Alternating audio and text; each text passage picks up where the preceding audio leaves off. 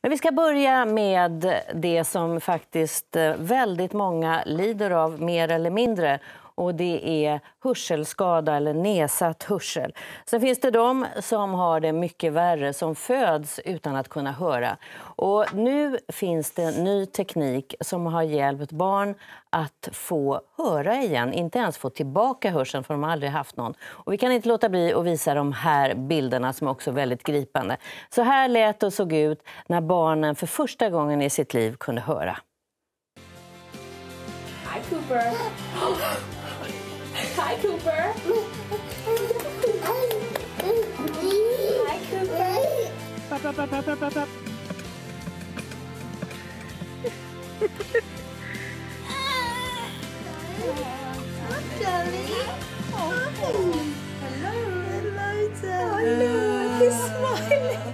What do you think?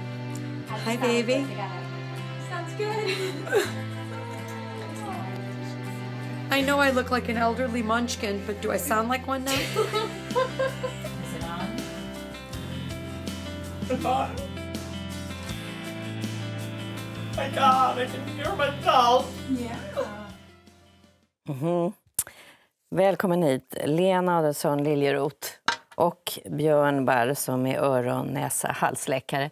Jag måste fråga dig, var det så här? Du har ju fått en hörsel, en ny teknik inopererad som gjorde att du fick tillbaka någonting som du aldrig hade haft egentligen. Inte ens tillbaka. Ja, delvis var det så. Jag är ju inte född döv som de här barnen Nej. och tekniken är otrolig. Men däremot så är det ju stora delar av vanligt hörande som jag aldrig hört. Till dit, dit hör fåglar, också delar av alfabetet. Jag har alltid hört vokalerna A, O, U, Å, de här mörka, dova ljuden. Men inte P, K, T. Jag har aldrig hört bokstaven S. Och du talar annorlunda, det kunde ju alla höra. För att ditt tal förändrades ganska snabbt efter att du fick den här tekniken. Ja, men som en av de intervjuade sa, jag hör mig själv. Jag hör mig själv på ett annat sätt. Jag har alltid älskat musik, men nu kan jag gå, höra en orkester och höra alla instrumenten. Det kunde jag inte tidigare. Och du har en, en apparat som du... eh, Ska jag visa den? Ja. ser ut så här. ja, Man hänger den på örat. ja. Och sen finns det en magnet som är in, är inopererad i hjärnan. Så det här är en avancerad operation. Men den hjälper mig. För själva den andra apparaturen sitter där inne opererad. Ja. Och då kan du stänga av den. Men nu ska du ligga med den där på nätterna för att du vill höra vårfåglarna, för det har du inte gjort tidigare. Nej, jag har inte gjort det. Ja, jag har hört skator och kråkor, men aldrig sångfåglar. Aldrig koltrasten. Du, bara lite eh, kort sådär för att människor ska förstå. Du växte upp med att inte kunna höra, men det var egentligen aldrig någon som riktigt uppmärksammade det. Jag tror jag var fyra år när det här eh, blev tydligt. Att jag inte hörde när någon kom in i rummen, jag hoppade till. Men jag pratade som vanligt om en otydligt, så det var inte någon som hade märkt det heller. Du läste eller på läpparna Ja, med antagligen. hjälp av det. Ja. Ja. Och uppförde mig ungefär som barn brukar göra. Man kollade ju inte det på nyfödda barn förut. Det här är ju 50-talet, så det är länge sedan. Så satt du längst fram för att kunna höra Mm. bättre i klassrummet. Och du har sagt, vet jag, att du tror att det är därför du blev politiker. Så är det. Sitter man längst fram så blir det inte ett mycket tillfällen till bus. Nej. Man blir klassens ordningsman, Ja. elevrådsrepresentant. Ja. Så att när jag fick en dag frågan vad har du haft för glädje av ditt handikapp? Man kan se det så också. Så började jag fundera och då kom jag på att det berodde nog på detta. Hade jag suttit längst bak och hört som andra så hade jag förmodligen valt en annan bana i livet. Men, men du, det som, som jag fastnade för också är att du har sagt att humor är någonting som är, har varit jättesvårt för dig att uppfatta. Hur då? Ja, men I samtal mellan människor så studsar ju samtalsämnen fram och tillbaka. Någon säger någonting roligt, andra skrattar. Det kan vara en bullrig miljö. Och då är det svårt att uppfatta nyanserna och kanske historien. Och ska man fråga om, och jag har gjort det, och sen talar de om det igen, jag hör inte ändå. Och så låtsas man. Jag har ägnat mycket stor del av mitt liv till att låtsas höra eller skrattat med fast jag inte har förstått. Och det gör du för att det blir... Ja, men det blir ju pinsamt, och det Pinsamt. blir jobbigt. Jag har aldrig, ska säga, aldrig blivit mobbad eller retad egentligen. Men jag har själv känt mig utanför många gånger. Men du har blivit väldigt trött det blir jag också. av att du får anstränga dig så mycket mer än andra. Ja. Och nu är ditt liv annorlunda, låter det som. På alla möjliga sätt. Ja, ja du har mycket mer tid. Och en av de saker du ägnar dig åt är att försöka få bättre nivå på krogarna, ljudnivå. Vi ska komma tillbaka för det, för det brinner du verkligen för. Eh, Björn Berg, som eh, faktiskt också har, mina barn har varit hos dig. Eh, så du har väldigt ofta barn som kommer. Fångar man upp sånt här tidigt idag? Idag fångar man upp det här tidigare. Man kan ju testa barn redan på första, levnad, andra, första andra levnadsdagen med ett litet klick man skickar Men in. gör man det? Det gör man. Alla barn som föds i Sverige testas. Okej. Så man fångar upp och får man misstankar kan man gå vidare. Så att de kommer väldigt tidigt under behandling. Så det ingår i en slags rutin? Det är rutin på BB idag i stort sett. Det, förr så fick man vänta till upp till åtta månader om man misstänkte att för att göra så kallat boeltest. Men nu har man det här lilla elektroniska klicket man kan skicka in Mm. och få ett respons där okej. Och då eh, så kan man operera in eh, den här Ja. typen av teknik tidigt idag? Tidigt idag, så man, det är så tidigare man kommer in så har man större chans på bättre resultat. Det vet man idag. Vad heter de här implantaten då? Cochlear implant. Ja, just det. Cochlear heter det lilla inrörat här. Ska det här har vi en Implantat. bild. Du får förklara vad det är vi ser där. Där ser vi ju genomskärning på ytan. Och där har hörselgången, ytterörat hörselgången kommer in till mellanörat via trumhinnan ni ser. Och så har vi hörselbenen, hammaren, sted och stigbygeln. Här leds ju ljudet fram till inrörat mekaniskt. Och i inrörat som är då... Där ligger ju då våra sinnesceller som är det cochlea, som där små hårceller ligger som tar emot ljudet som går via hörselnerven upp till hörcentrum. Och, den var- här svarta grejen längst upp till vänster, det är den som Lena plockade Det är, ut? det är magneten som sitter här. Den sitter emot. Och så ser man innanför ligger implantatet ser man det gråa som då med kablar går ner mot örat. Den ser, så har man lagt in en slinga in i innerörat. Och det är då elektroderna som man då opererar in. Men det man såg på de här barnen, det var ju att från att inte höra överhuvudtaget så kan man få liv i det här igen. Ja, genom att eh, har man en intakt när och en intakt hörselcentrum centralt så är det då sinnescellen i cochlea som är skadad med- av olika anledningar. Medfött eller under upp, upp, eh, graviditeten har hänt någonting. Så kan man nu stimulera då nerven via den här cochlear implant och ge frekvenserna som då kan ut, man vi behöver ha för att utveckla ett tal. Men du har följt hörs- Ja, har följt. Mm. Lena under många år. Alltså för Lena har ju då, du har ju sagt själv Lena, du har ju inte problem med båda öronen. Jo, ja, det ena det örat som är opererat Vänstra var sämst. är, ska jag väl säga, dövt. Men jag har inte haft någon glädje, jag har aldrig kunnat ha telefon. Högra örat har jag, ska jag kalla det, Björn, halv hörsel. Halv hörsel. Ja. Men ingenstans någonsin de här höga tonerna. Diskanten är borta. Så att, ändå, konsonanterna i vårt språk hör inte Lena som berättar det här. Just de här svaga, svaga S och F som du aldrig hört. För att, jag fick en siffra, 1,4 miljoner svenskar har någon form av hörselnedsättning och har då, vad jag förstår, problem också att röra sig i samhället där det är ljud nästan hela tiden. Det är aldrig tystnad och vila kan man, kanske man kan säga. Utan det är ständigt pågående musik och hög ljudnivå i klassrum och krogar. Överallt var det kommer i princip så är det musik. Vi har ju alstrat, kommer in i en affär så är det musik man möts och det är överallt. Och hur, hur är det då för en som är hörselskadad? Är det tröttande eller vad skulle du säga? Ja, det är det naturligtvis. Men vi har ju ändå möjlighet att gå ut därifrån. De som arbetar i de här butikerna, de som arbetar på barer och restauranger och kaféer, den här, de har ju inte det. Jag brukar ibland fråga, hur står det ut att jobba här? Ja, alltså, jag är alldeles död, kan personal säga när jag kommer hem. Såväl unga som de som är lite äldre. Det det är som man inte tror- att förstå att man kan faktiskt säga ifrån. Man säger, stäng ner musiken, eller om man arbetar där. Vi klarar inte av det här.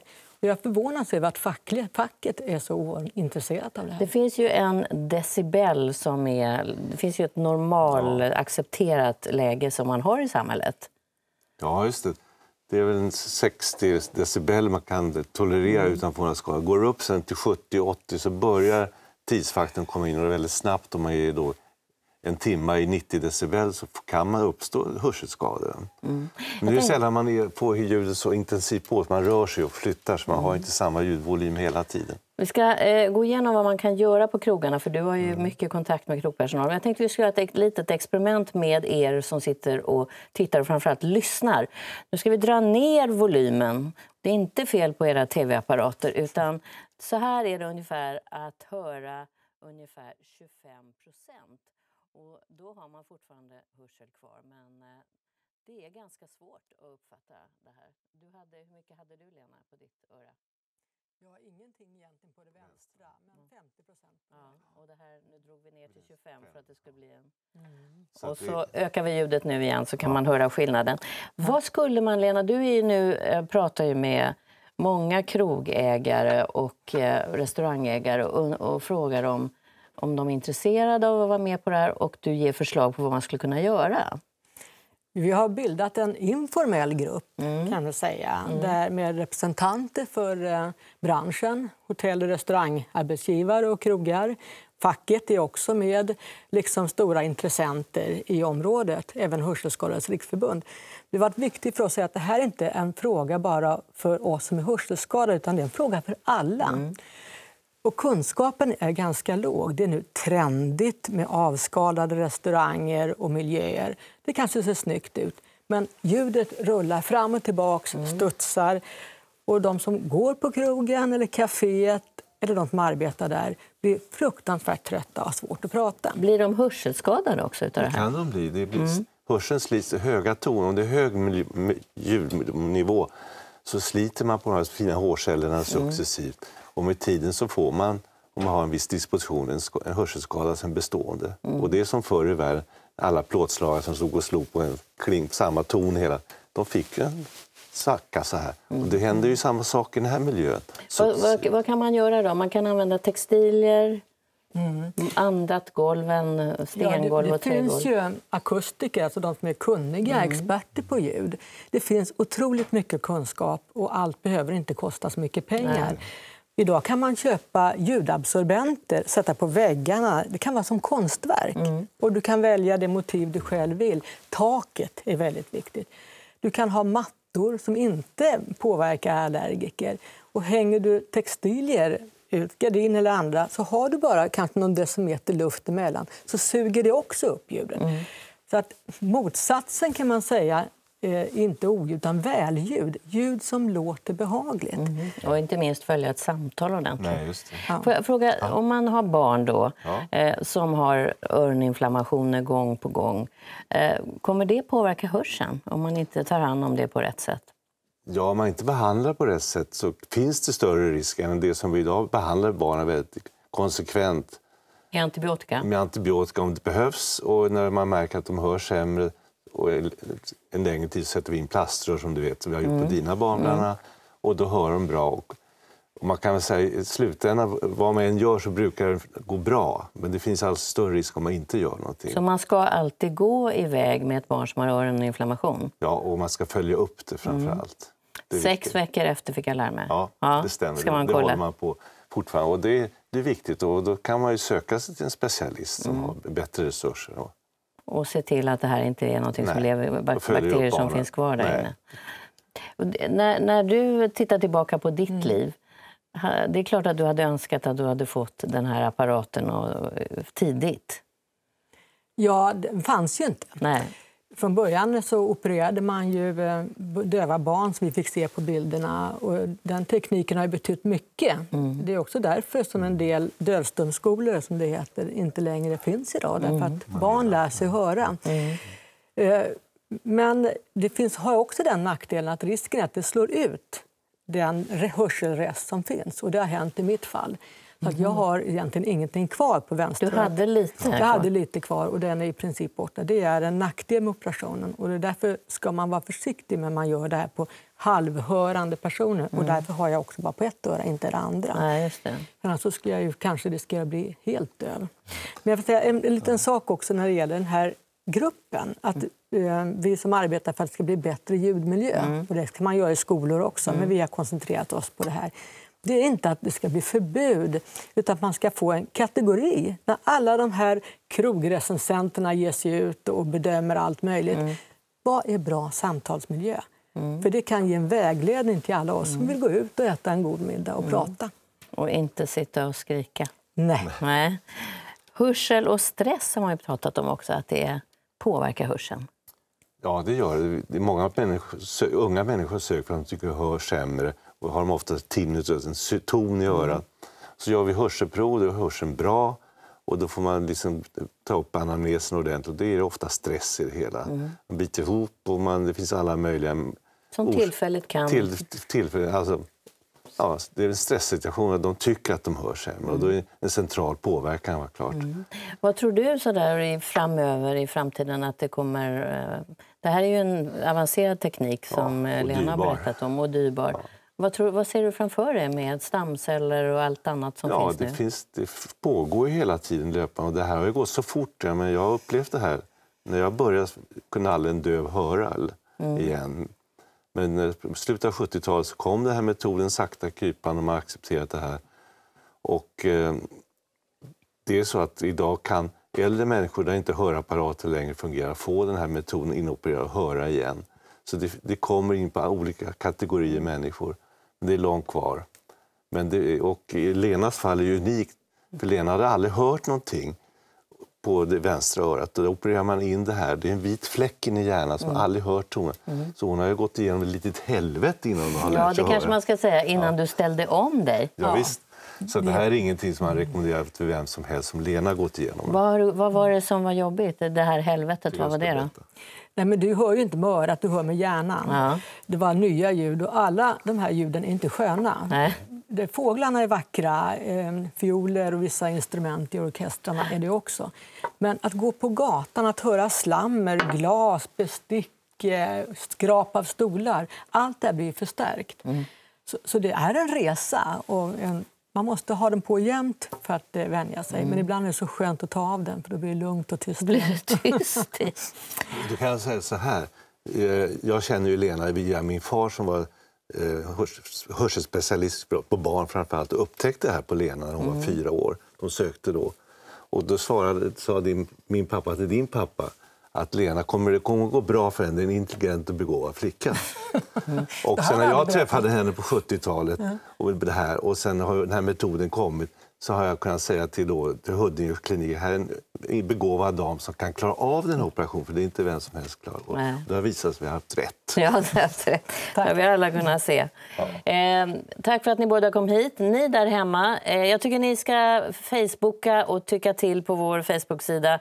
Vad tycker ni om krogar som har en miljö där man faktiskt kan prata med varandra, samtalston? Då ska ni höra av er och tycka till om det.